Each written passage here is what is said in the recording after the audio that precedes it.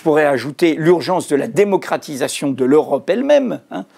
Si vous prenez ces éléments-là, trouvez-moi des différences radicales, rédhibitoires, entre la liste Brossa, PC, euh, Aubry, France Insoumise, France- Hamon, Françoise Génération, Europe Écologie, Françoise Lino Non, je- pour François Asselineau, le Brexit, le Frexit. Frexit. Non, moi je suis internationaliste. Et Mediapart, on est internationaliste. Vous m'avez demandé des différences. Bah, il y, a- il y a la liste Asie. Non, mais lui, je ne le mets pas dans les listes de gauche. Lui, il vient de la droite et il est profondément. Et sur les migrants, il y a. Vous savez, nous, on a des principes. des- Nous, on défend des principes. Des principes. hein. Et les principes, c'est la Déclaration universelle des droits de l'homme. hein. Désolé. Nous naissons libres et égaux en droit. Et parmi le- les droits, il y a le droit de se déplacer.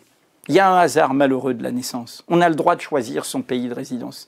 Et donc, toutes les forces xénophobes qui font, veulent que les nations ou que l'Europe elle-même soit une clôture et une fermeture hein, sont d'un autre côté. Je parlais de gens qui partagent des idéaux démocratiques, sociaux, humanistes.